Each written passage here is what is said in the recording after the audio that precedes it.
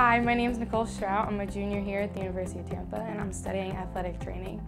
Athletic training is the study of rehabilitation sciences of the different musculoskeletal injuries that can occur during um, athletics and sports.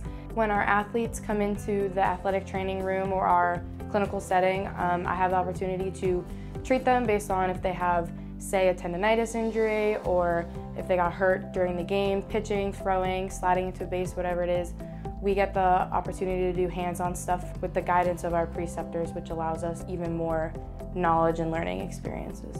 This upcoming May, I'm actually going to be studying abroad in Taiwan through the University of Georgia, who extended the opportunity to our university's program, which is really exciting. We will be focusing in global issues with athletic training based on their culture and our culture and the comparison of the two. And we have a big focus on learning acupressure massaging, and also cupping and acupuncture.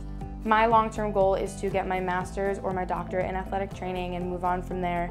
And ideally, I would love to work in a high school or a collegiate setting. The athletic training program here, we're very close, we're a family. It's small, we're all well-rounded students. Um, each class has approximately 10 to 12 students. The preceptors, the certified athletic trainers, our professors and everyone I think my favorite part is knowing that no matter what, I can also go to them and it's a good support system. From our staff to what we learn, the way our program's laid out, and all the opportunities that can arise from the local Tampa Bay area, I think it's a great opportunity and you definitely would not regret coming here.